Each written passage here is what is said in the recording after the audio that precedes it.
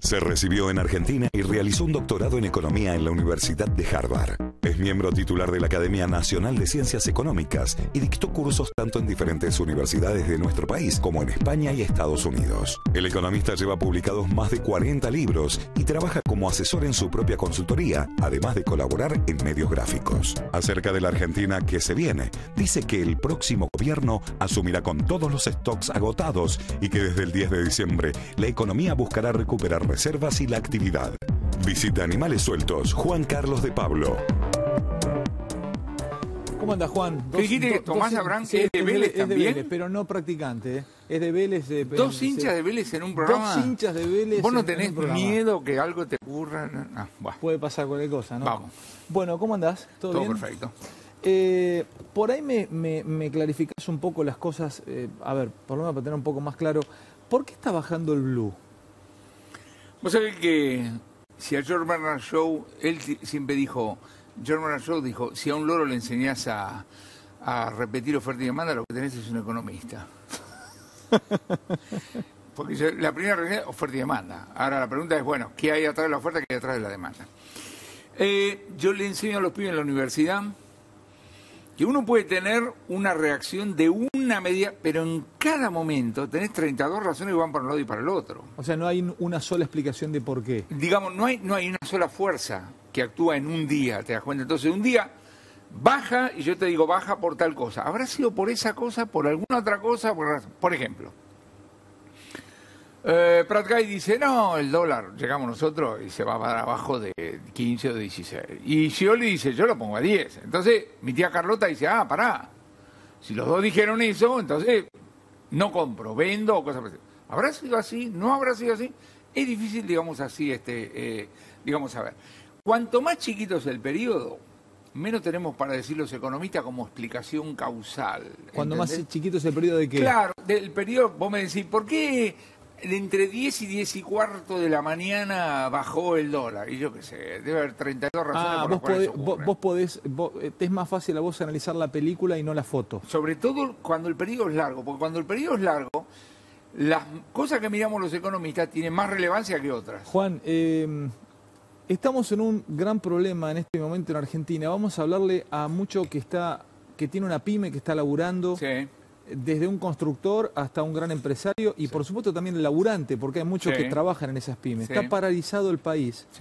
Sobre todo para comprar cosas tienen precios en dólares. No te digo una caña de pescar o un reel Shimano. Te estoy hablando de, eh, no sé, cables de acero o este, elementos, este, tabletas electrónicas para poner un ascensor. Pongo siempre el, equipo, el ejemplo del ascensor. Porque el tipo que te compró con dólar, se estoqueó con dólar a 9.50, 9.20 no quiere largar todo sin saber a cuánto se va el dólar. Porque si viene Pratgay, hablan de un dólar a 14, 15 o 16. Si viene Scioli, ya dijo que el dólar queda a 10. Entonces no te venden. Vas a comprar en un montón de, ítems hoy en Argentina, no te venden. O sea, no es muy apresurado que los tipos, tanto Scioli te diga que el dólar queda como está y que el otro deslice que lo va a dejar entre 14 y 16 ¿Vos conocés algún ejemplo, un tipo que llegara a la economía y cuando faltan 20 minutos para que llegue empieza a gritar, voy a poner el dólar a tanto? ¿Se anuncia o se llega en secreto y se va haciendo? Eh, las declaraciones de los candidatos a presidente son de campaña. De la manera que las, declaraciones que tienen los, los, economistas están alrededor de los candidatos también son de campaña. Yo mucha bolilla, digamos así, no le doy. Junto a lo cual está todo el tema de el precio del café que tomo en la esquina. Tiene dólares 16, de 15. Yo te voy a decir lo siguiente, acá y en cualquier lugar del mundo se ponen los precios que vos podés poner, a los cuales vendés. Se ponen los precios a los cuales vos, vos ponés. claro. Como, vendedor, decís vos, como empresario. Voy a poner un ejemplo. Viste que acá está toda la discusión. Si yo devalúo, ¿qué va a pasar con el precio? El famoso pass-through. ¿Cuánto va a precio? Cosa por estilo. Entonces yo voy a decir, que, como en mi caso de 2002. El precio que yo le puse a las conferencias en 2002 en pesos fue exactamente el mismo número que en 2001 era pesos dólares. ¿Ok? Es decir, yo te cobraba mil pesos dólares en 2001 y te cobraba mil pesos en 2002, cuando el dólar había aumentado de 1 a 4. Entonces vos bajaste en lo que cobrabas. ¿Y por qué la pregunta? Porque nadie me contrataba. Porque las únicas conferencias que vos dabas en 2002 era para productores agropecuarios o cosas por el estilo, ¿entendés? Entonces, cuando a mí me dicen, ¿Por qué ponen este precio? el tipo mira si va a vender, si no va a vender, si va a poder reponer, si no va a poder reponer. Entonces, yo diría, muchas de estas cosas que están ocurriendo son momentáneas. Esto se empieza a disipar rápidamente a partir del 10 de diciembre de 2015. En el último tiempo vinieron eh, eh, economistas que eran de un lado o del otro, y vos, vos sos un, tipo libre en la economía, entonces vos me, me, podés avivar o avispar a mí y a tantos otros que nos están viendo en toda la Argentina hasta ahora, Juan. Sí. Eh, esta mañana me, tuve que hacer un. Me fui a laburar, tenía que estar en Capital a las nueve y media de la mañana. Yo vivo en Tigre, salí a las siete y media desde Tigre, dos horas de radio en Panamericana. Sapiné por todas las radios de. Vos no te privada nada. ¿eh? Por todas. AM solamente, ¿eh? No hice FM. Desde la 530 hasta la, 1100, la 1600 Radio Alegría, que transmitía la campaña de, de Vélez. 1600 y pico. En las radios K, se lo dije recién a Tomás, en las radios K el mensaje era, llegan los del Cambiemos y devalúan y te hacen mierda el salario, los precios explotan por el aire. Eh, en las radios K era eso. En las radios que no eran K o, pro este, o contra el gobierno, se hablaba el tema, pero ahora, decime, si llega Patgay y devalúan y ponen el dólar a 14, 15, eh, no hay otra salida. Había un, economista que decía, no hay otra salida, ya lo vivimos, el mundo lo probó y es así. Te devalúan y te hace pelota el salario. ¿Es así o hay un término medio? que devalúan y no te rompa el salario. Primero a ver qué, es lo que pasa este, cuando Macri llegue al gobierno. Y, lo digo de esta manera, porque acá no estamos 50 y 50. Le faltan 20 minutos si llega para que llegue, si llega. ¿eh? Yo, digo, yo digo esto, yo digo esto. Acá, el 22 de noviembre, la probabilidad que, que Macri sea el próximo presidente debe ser 98%, y Scioli 2%, no es 50 50. Es decir, a los candidatos presidenciales hay que decirles, vos trabajás, no bajes los brazos, cosas por el estilo. Pero la toma de decisiones, eso lo hace que Macri es el próximo presidente. Entonces vamos a prestar atención a lo que está diciendo la gente de Macri y, algunas promesas de campaña que dijeron. Pero para, no te la juegues todavía, porque en este país viste que todo cambia, pero Es al revés, no, mi querido amigo, es al revés. Yo creo que hoy parte de la, ¿cómo decir? La pavada local, no sé, Argentina no sé, pero digamos, la pavada local es hacerse el inteligente y decir, no, bueno, está todo dicho. Claro que nunca está todo dicho, pero las probabilidades no son las mismas, pero ni de lejos, ni de lejos. Consiguientemente, la toma de decisiones, no es porque vos sabés lo que va a pasar, la toma de decisiones hoy se hace sobre la base de que Macri es el próximo presidente. Ahora, ¿Qué dijo materia cambiaria? Dijo una cosa muy sencilla, dijo, saco el cepo, libero el tipo de cambio y consiguientemente lo unifico. Ya está, ya lo dijo. Saco el cepo. Saco el cepo. Sí, libero, el tipo de cambio y lo unifico. si vos liberás el mercado de cambio. Cuando, cuando sacás el cepo, automáticamente liberás el tipo de cambio. No, son dos cosas. Son dos cosas diferentes. Son dos cosas. Sacás el cepo, Vos definiste liberalizar el mercado, sacás el cepo, y liberar el tipo de cambio. Son las dos cosas que dijo. Perdóname, Juan, ahí me, voy metiendo en pequeñas puertas que Ningún problema. Eh, porque Kisilov me dice que es muy peligroso si vos liberás el si vos dejás librado el tipo de cambio a que te lo coloque el mercado, te la ponen. Bueno, primero y Melconian me dijo sentado ahí que el tipo el mercado tiene que ponerte el precio del dólar. Entonces, ¿es una economía de control central tipo Partido Comunista Chino o, es una economía este, de, libre mercado como cualquier este país capitalista del mundo? Va a empezar clarificando, los mercados no existen. Los mercados no existen. ¿Cómo no existen los mercados? ¿Qué son los mercados? Los mercados son la gente que compra y vende tu tía, ¿eh? mi primo, el grande, el chico, el mediano, cosas por el estilo. Entonces, acá esto de te la ponen, todo ese tipo de cosas. Pero, esto, es fantasía. ya empecé a ser ya me gusta que me cuentes esto. Los mercados no existen, no profe. existen los mercados. como yo soy economista, un gran profesor. Pero como yo soy economista me puedo dar el lujo, porque si yo no fuera economista, yo, qué barbaridad, miren lo que dijo. Los mercados no existen. Terminemos con la pavada esta. Perdóname, el mercado no es Pagani de Arcor que nos está viendo. El mercado... Roca, Techín. Y eh, vos, y tu tía, y todo. Todos los que compran y todos los que venden. A mí no me van a decir ahora, ahora dice, no, son cuatro tipos que compran dólares, venden. Para, para, para, para son los seres humanos haciendo transacciones. La pregunta es, ¿por qué la gente compra dólares? ¿Por qué la gente quiere tener pesos? Esa como cuando dicen Wall Street. ¿Escuchaste vos? Wall Street dice, ¿quién es Wall Street? De la plaza donde se... ¿Qué es Wall Street? yo conozco la economía del mundo. No, yo conozco personas. Entonces, el señor A o el señor B. Volvemos. Entonces, Macri dijo, el primer día, pongamos que el 11 de diciembre funcionen, eso se llama los mercados. Muy bien. Entonces, Macri dijo, vos tenés un dólar y vos querés pesos, sí. Bueno, salí a la calle a buscar un tipo que tenga pesos. Vos tenés pesos, querés un dólar, sí. Salí a la calle a buscar un dólar. Y eso va a fijar la cotización. Ahora, ahora. ¿Oferta y demanda? Oferta y demanda privada. ¿Me la fija la cotización oferta y demanda? Oferta y demanda privada. ¿Y, quién, ¿Y qué va a haber? ¿Más tipos que tengan dólares para venderles a los que quieren pesos o más tipos que tengan pesos para... Excelente pregunta que no tiene contestación. ¿Por qué? Porque eso depende de dos cosas. Primero, ¿cuál es la política económica con las lanzas? Y si te creen o no te creen. Vamos rápidamente a esto. Dale. ¿Cómo se hace una política económica? Una política económica se hace así. Los pedacitos dependen de conocimientos específicos, depende de hablar con el tipo que está al pie del cañón, etcétera, etcétera los muchachos que están trabajando y las chicas alrededor de los candidatos ya deberían estar trabajando esto privadamente, profesionalmente, sin hacer ruido. Cuando en la noche del 22 al próximo presidente le digan, pibe, ganaste vos, esa persona tiene 19 días hasta que arranca su periodo. En oh. eso, son 19 días. En esos 19 días, mira las cosas que tiene que hacer. Primero, se tiene que dar una ducha de agua fría, porque se la tiene que creer, pero no demasiado. Si se la cree mucho, estamos jodidos. Y si no se la cree, también estamos jodidos. La segunda cosa que tiene que hacer... creérsela un poquito? Creérsela, creérsela no demasiado...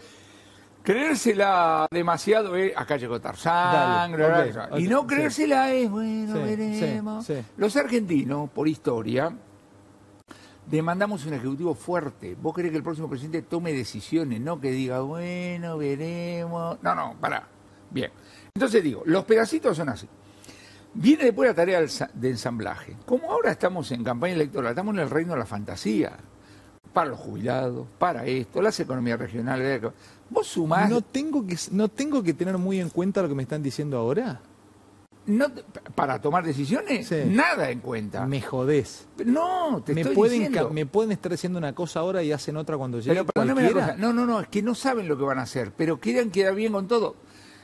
A mí me gusta decir Otto Bismarck. Después le pongo los archivos, ¿eh? Poné todo lo que quiera. Digo, Otto Bismarck dijo. Otto, Otto Bismarck dijo: nunca se miente tanto como antes de una elección, durante una guerra, después de una cacería. Y vamos a inventar la pólvora acá. Entonces, yo no le presto atención. El, discurso, el, debate del domingo, yo no creo que lo, vaya, que lo vea, o lo veré cinco minutos. No hay pistas si a vos te interesa la política, me parece bárbaro.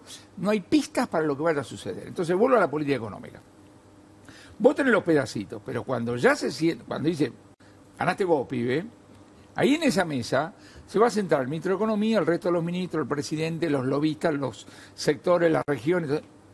Y en esa mesa van a volar los panes, los cuchillos y las ametralladoras. ¿Por qué?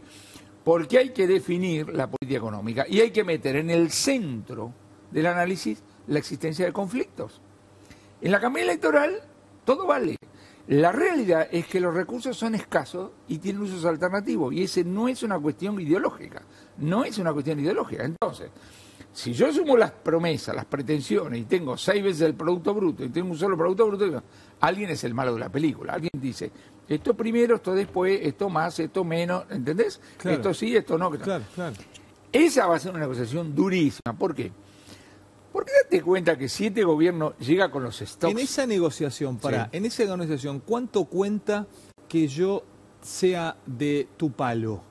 ¿Cuánto cuenta? Suponte que yo soy presidente, ya nos conocemos, Juan.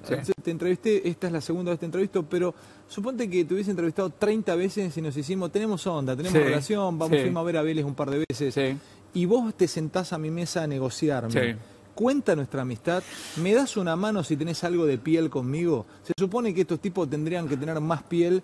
Bueno, Scioli no es, no es tan K como todos dicen, pero deberían tener más piel con un tipo como Pergay que con un tipo como Kisilov. Yo creo que cuenta la amistad, pero básicamente lo que cuenta son las razones de fuerza. La guita, ¿no? Eh, no, no, no, las razones de fuerza. Mirá, te cuento una anécdota. Hace unos años dicté una conferencia cerca de Luján para clínicas médicas.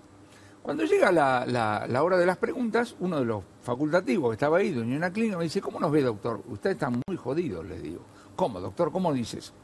Entonces le dije, mire, la semana anterior, los colectiveros, no sé qué problema habían tenido, habían agarrado todos los colectivos y lo habían tirado sobre la Plaza de Mayo. el Palacio de Hacienda funciona en el cuarto piso del edificio de Hacienda. De modo que el secretario de Hacienda, no Chava, ve la Plaza de Mayo Y el tipo tiene guita para hacer un solo cheque, ¿te das cuenta? Ahora, si vos tenés guita para hacer un solo cheque, mira la Plaza de Mayo está llena de colectivos, y tenés de un lado a las clínicas y del otro lado a los colectivos, se lo das a los colectiveros. Entonces yo le digo, ¿sabe cuál es el problema que tienen ustedes? Que, por supuesto, la fantasía. Ustedes no tienen estómago para agarrar 20 enfermos y 20 heridos y tirarle las camillas y ponerla entre los colectiveros. Entonces digo, la política económica, cuando aparece en este momento, es salvaje. ¿Por qué? Porque vos tenés que decir esto sí, esto no, esto primero, esto después. Y la experiencia dice una cosa elemental. Los que se sientan en la mesa embroman a los que no se sientan. Ejemplo, ¿quién va a defender a los trabajadores informales ahí? ¿Quién va a defender a los tenedores de peso? ¿A vos te preocupa qué precio va a tener el dólar? No, porque... Porque por ahí es un juego nuestro de los medios de comunicación. No, no, es un juego. Lo que importa mucho a vos? Lo que digo, lo que digo es lo siguiente. A mí lo que me, yo el 10 de diciembre voy a estar frente al televisor porque quiero semblantear. El primer discurso del presidente es muy importante. A ver, Juan, me, me iba a decir que si me permitís le voy a pedir tu teléfono a producción. Sí. Y el, el 10 no, pero el 10 de marzo te voy a llamar porque va a pasar diciembre, vienen las fiestas, enero, vamos a dejar pasar febrero. En los primeros días de febrero te voy a llamar, te voy a decir, Juan, ¿cómo la ves?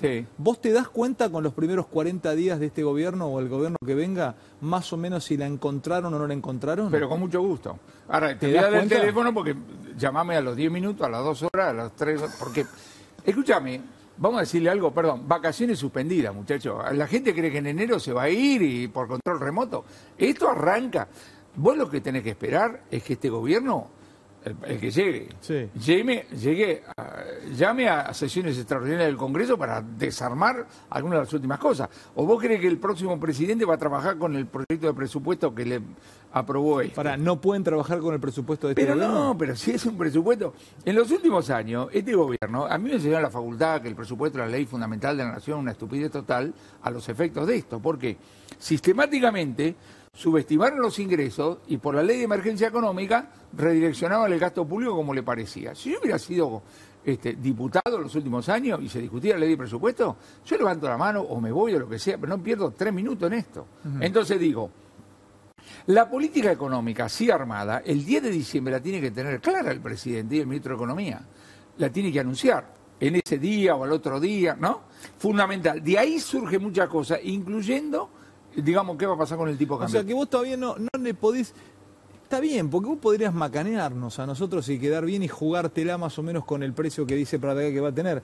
No podrías adelantarnos eh, en cuánto va a estar el dólar. Pero por supuesto. No podés. Pero ni siquiera los, que dicen que saben, no saben. No lo saben ni. ¿Cómo que son brutos? Ni no lo saben ni Pradcay ni Batakis. Pero ni Bain. Mira que vino Miguel hace dos días, tampoco lo sabe Miguel si llega. No porque son brutos, es imposible saber. Ahora, Vos dijiste una cosa hace un ratito muy interesante que dice, acá nos está, este, eh, nos está escuchando el de la pyme, un arquitecto y otro. ¿Y qué le tenemos que decir? La vida sigue, muchachos. La diferencia fundamental entre negocio y empresa es clave.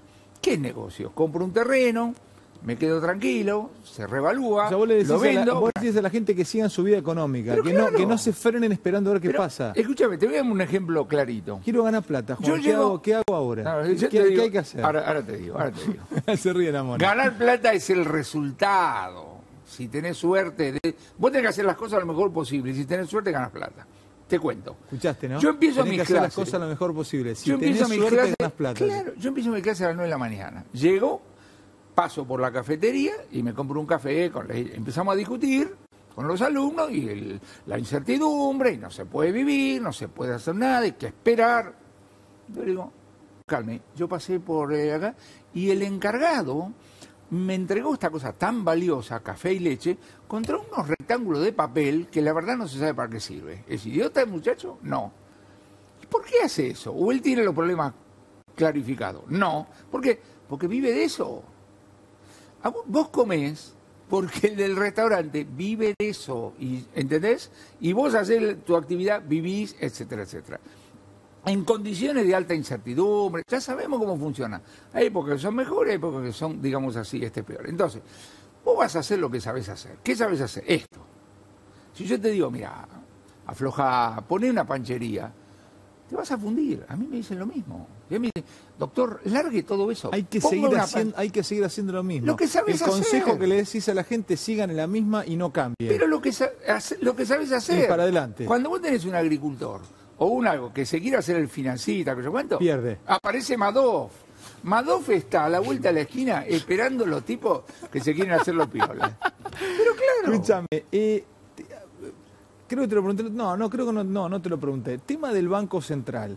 Se vienen y se quejan, lloran acá. Los que este, no están en el gobierno me dicen, ¿sabés cómo nos van a dejar el Banco Central? Sí. Hecho pelota, nada, no va a quedar nada de adentro. Em, y por el otro lado, este, los que están ahora te dicen que bueno, que no es tan grave, que van a quedar reservas. A ver, ¿te preocupa cuánto hay dentro del Banco Central o esa es una gilada que instalamos nosotros los medios de comunicación que le sirve a algunos de los que podrían llegar al poder. No es una gilada, eh, el Banco Central va, el 10 de diciembre va a tener muy pocas este, reservas. Ahora, Mauricio Macri, ¿qué dijo? Yo libero el tipo de cambio, no precisa reservas. No precisa reservas. Pero para, para, para, para, Bain me dijo acá que Prat Guy, para liberar el tipo de cambio de entrada, para tenerlo agarrado, necesita 40 mil millones de dólares. Sí. Eso lo eh, dijo Miguel. Lo voy a decir con el mayor de los respetos, porque Ben debería estar sentado acá para poder defenderse. No, no, no, para, no, pero voy a decir, respetuoso, a mí no me gusta hacerlo con respecto a los ausentes. Dale. Lo que dijo Miguel Bain es una barbaridad total apúntate a que cuando lo leí en un diario dije, lo habrá dicho de esta manera. bueno, también, pero te quiero decir, ¿por qué?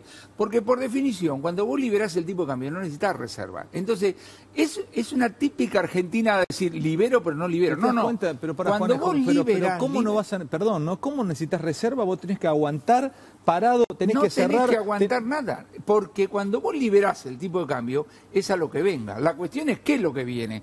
Y por eso te dije que el tipo de cambio depende de la política económica y de si te creen o no. Quiero decir. No, liberar el cepo hablaba el tipo. ¿eh?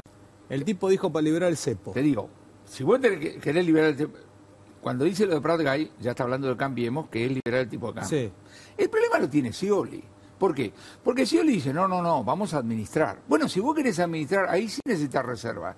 Y la verdad que Blecher, Bataki, Bey, etcétera, etcétera, deberían estar trabajando en la eventualidad de que Scioli sea presidente, diciendo, ¿qué hacemos dado esto? Y yo diría, ¿qué hacemos dado que a Scioli no le creemos nada?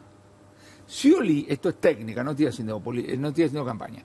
Scioli no tiene más remedio que hacer una política económica más rigurosa y ortodoxa que la de Macri, porque tiene la confianza en contra, ¿te das cuenta? decir, Scioli, ¿Cómo, cómo, Scioli tiene que ser más macrista que Macri? No, Scioli es más ortodoxo, más riguroso. ¿Por qué? En lo económico. Pero lógico, a ver si le creen, ¿sabe por qué? Y si dijo que deja el dólar a la 10, Juan. Perdóname, eso, imagínate.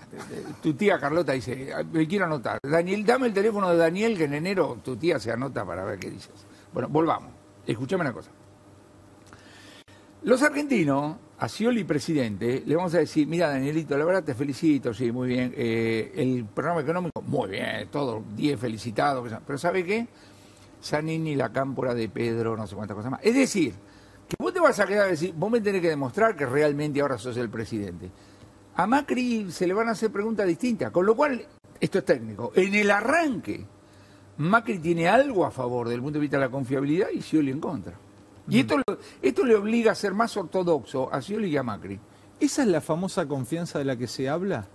Bueno, no sé de la que se habla, pero sí la confianza. ¿Viste que dice que un presidente si tiene confianza, cuánta confianza te tienen? ¿Quién, ¿quién te hace esas preguntas y quién no te las hace? Bueno. ¿Quién debe dejar de hacértelas esas preguntas? Primero vamos a, mencionar a Guillermo Calvo. Guillermo Calvo es un economista argentino que ha hecho en la, la década del 80 trabajos muy importantes sobre el tema de la confianza o falta de confianza. Y Guillermo dice una cosa elemental, dice, la misma medida de política económica genera resultados para un lado para otro dependiendo de si te creen o no te creen. Con lo cual, no se puede hablar de política económica en el vacío. Cuando dice usted cuáles serían las tres primeras este, medidas si fuera ministro, digo, pare. La primera cosa que tengo que ver es, ministro de qué presidente soy ese gobierno, ¿cómo está con respecto a la sociedad? Con respecto a qué poder tiene, qué poder no tiene, cuánto le creen. Cuánto... Vos tenés que armar la política económica teniendo en cuenta no solamente la técnica, la congruencia, sino estos elementos. Escúchame, eh, pensando el, que venga, hay cosas a las que los cuales los tipos les escapan como perro a la cebolla. Por ejemplo, de los subsidios me hablan poco. Sí. y es eh, ya no sé si voy a tener equipos económicos este, conmigo sentado, pero nadie me ha hablado de qué van a hacer con los subsidios. Por ahí lo tienen medio guardado. Eh, ¿Vos qué crees que van a hacer tanto Macri como Scioli con los subsidios? ¿Los van a sacar los subsidios? Vamos a ponerlo de esta manera. Cuando vos te dicen los muchachos que miran todos los números fiscales, que el déficit es 7 puntos del Producto Bruto, vos tenés que decir, algo tenés que hacer, macho, algo tenés que hacer. Ponele que dice, vamos a reducirlo a la mitad, mirá lo que digo, ¿eh? que es un esfuerzo, la mitad. Entonces yo te traigo a vos el gasto público y te digo, bueno, a ver, ¿qué tocas acá? Primer ítem de gasto público, seguridad social. Seguridad social es más o menos 40% del gasto público total. Ahí tenés para un poquito. Segundo, subsidios a energía y transporte. Es la mitad de, seguridad social. Ahí tenés para tocar. Es una cosa elemental. Se te enojan si tocas subsidios. Que ¿eh? se enojen todo lo que quieran. Pero digo, vamos a ponerlo de esta manera. ¿Ahí está, ¿Ahí está donde a uno se lo pueden perdonar más o, menos que al otro? Yo, yo lo pongo de esta manera. Yo lo pongo de esta manera. Cruzar la capital federal hoy en ómnibus, con aire acondicionado, sentado, cosas por el estilo, 3 pesos 50. Un cortado, 25 pesos algo no anda, ¿no? O somos unos genios. ¿Estamos para el Nobel o algo no anda? Pará, pará, pará, pará, maná. Volvamos. ¿Te lo digo otra vez? Sí, se ríen los chicos de las cámaras para que los pibes se rían. ¿Es así o no? ¿Cómo es eso, Juan? Escúchame una cosa, me subo a un ómnibus y me cruzo toda la ciudad de Buenos Aires por 3 pesos 50, ¿o no? razón, sí. ¿O no? Tenés razón, Ahora entro en un bar de cuarta, ¿no? En el... 25 eh, 25 pesos es una genialidad que descubrimos la pólvora. ¿Eh? Algo no anda. Hay que subsidiar el cortado. sí, claro, Bueno, algo no anda, ¿no es cierto? Entonces voy a decir, algo no anda. Ahora, en algún momento, la historia argentina dice que vos querés ajustar algo en frío, no anda. No anda. López Murphy 2001, no, no anda. Bueno, habrá que esperar entonces. Ahora, si hay que esperar, quiere decir que la crisis eventual puede ser más grande para que vos te animes a hacer algo. Yo creo, creo, pero vamos a ver.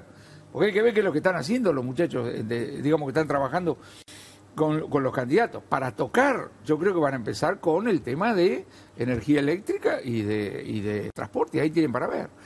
Después, en el tema de los subsidios, el otro día yo lo escuché a Morales, ¿no? Morales dijo una cosa muy interesante, el, gobernador electo de Jujuy. Sí, el que lo palició a Fellner. Muy bien. Dijo, muchachos, yo los, los, los, este, los subsidios los sigo, pero ¿saben qué? Se, vengan a anotar, no basta intermediarios. ¿Cuánto cuestan los intermediarios? Es una pregunta, porque vos puedes agarrar y decir, sigo con los subsidios, pero venga y no te sé. Para, ¿en Argentina gana mucha plata el intermediario? Dios sabe, pero que te quiero decir, los intermediarios de la política... Claro, sí, sí. Y bueno, se cuestan servicios grandes. Entonces, hay, hay muchas cosas para hacer. Eh, cuantitativamente pueden ser importantes. Yo estoy esperando que desde el primer domingo que tengamos fútbol, con fútbol para todos, tengamos publicidad privada. Y a la gente que está, a los contribuyentes, no nos salga te nada. Te ahorras mil palos. Pero digo, pero hay que hacer... Vos en materia fiscal tenés cosas que cuantitativamente son importantes y símbolos. Es una mezcla de las cosas. Claro, tenés razón. Yo también, yo también creo que el fútbol para todos debe tener. Pero vos te acordás que cuando, se, cuando se hizo lo de fútbol para todos, los fanáticos vendieron, esto no le sale un mango al Estado, porque esto va con publicidad privada. Y después le gustó al, gobierno de turno. Bueno, una de las cosas que vamos a ver si realmente hay cambios es, eso, como tantas otras cosas. Eh, ¿Vos estás con tiempo en febrero, en enero? Yo te voy a llamar, pero si tienes tiempo físico, vos ya, no, las clases cuando arrancas en marzo. Primero de marzo. ¿Vos no te puedes tomar un avión e ir a negociar con Griesa? ¿Estás con tiempo o no? ¿Por qué, ¿Por qué habría que empezar por ahí? ¿Y dónde quiere que empiece? Yo necesito destrabar plata, Juan. Mira, vamos a volver a empezar a pagarle. Bueno, no, no, no, no, no. Vamos, es muy interesante eso que vos estás hablando. Porque el interés periodístico, los buitres, para el Fondo Monetario, pará, calmémonos. La primera cosa que yo quiero como ciudadano, no estoy hablando como economista, como ciudadano es, macho, vos sos el próximo presidente, ¿me podés decir qué vas a hacer? Por eso digo, ese discurso del 10 de diciembre es importantísimo. Yo estoy esperando un discurso de media hora, bien escrito, bien hablado. La primera parte decir, bueno, gracias, sí la última parte dice Argentina, y en el medio me tiene que pasar tres o cuatro cositas de la herencia y tres o cuatro pautas de cómo viene la, mano. Qué bueno, te lo voy a anotar eso, Juan. Hay, que, ver eh, eh, el, discurso ese. Ese, discurso ese discurso es importantísimo, porque vamos a estar chequeando si el próximo presidente sabe de qué primero de qué habla y de qué no habla. Si sabe, si nos da la impresión de que sabe lo que está diciendo, de qué habla, si cree lo que está diciendo, junto a lo cual vas a tener ya sabes, el gabinete, los embajadores, qué va a hacer con el INDEC. Bueno, una vez que los argentinos sabemos en qué consiste la política económica y arranca, después va a tener tiempo de ir a hablar con Griesa, con los buitres, y vamos a ver si, si tiene que hablar con el fondo. Yo no estoy convencido que tenga que hablar con el fondo. ¿Para qué seguimos? Porque hay este, mucho más para charlar con, con, De Pablo. Eh, interesante, es tan, tan, tan profe, ¿no? Para explicarlo, tan histórico, tan, tan, tan este, simple para explicar las cosas. Bueno, eh, para cerrar con De Pablo, agradeciendo lo que haya venido, quedó picando esta pregunta sobre este, ganancias. Todo el mundo discutió sobre ganancias, si se puede sacar o bajar el impuesto a la, a la categoría, la primera categoría de ganancias. ¿Se puede hacer eso? Pues se puede, la pregunta es corresponde o no. Y ahí tengo dudas. Quiero decir lo siguiente. El impuesto a la ganancia en Argentina se creó en 1932. Yo empecé a trabajar como cadete en un estudio contable en el 59. Así que desde el 59 en adelante, cuando vos derivabas ingresos del trabajo personal, al mismo ingreso pagaban menos impuestos que el resto. Siempre hubo una deducción adicional. Pero no es cualquiera. Quiero decir, yo no entiendo por qué una persona que gana 50 mil pesos no tiene que pagar porque es trabajo personal y una persona eh, que no. Ahora, tomada esa decisión de hacer la el ajuste por inflación debería ser automático. Ese es el problema con este gobierno. Este gobierno dijo, no, no, yo no lo muevo. Así que cada vez que lo querés, vení, papá. Vení, a pedir, vení con los pantalones bajos, alfajores, eh, a pedir... Eh. Eso es lo que está mal. Es decir, vos tenés que tomar una decisión por la cual decís, el trabajo personal paga menos impuestos, por eso pones una decisión adicional. Ahora, una vez que está esto, el ajuste por inflación debe ser un acto administrativo. Cierro la computadora, Juan Carlos, te agradezco muchísimo que hayas venido. Hasta cualquier momento. ¿Qué me dijiste en marzo? Pero no, te llamo el 10 de febrero. El 10 de febrero te estoy llamando. Y el 10, ¿sabes cómo estoy viendo el discurso? Ah, Saludo, gracias. Sí, señor. El medio y la salida es sí, este. No, olvídate, pero ¿sabés cómo me lo anoto? Sí, de frente. Al Santito Protector a San Expedito, este nos va a hacer Alemania nos va a convertir en una mezcla entre Alemania, Estados Unidos y Francia. En la Francia también la economía no, está para atrás, los franceses no. Ah, peleando. Eh, países nórdicos, ahí está. Gracias por todo, gente. Nos vemos mañana si Dios quiere. Mañana viene Mauricio Macri, mano a mano, ¿no?